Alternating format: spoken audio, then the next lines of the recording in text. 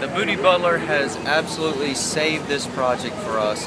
We had exceptional rain, a fast build, and we've had people that were amazed that this product was available and that we could utilize it so effectively. It's been fantastic. Grace Construction here in Knoxville, Tennessee. Thank you very much.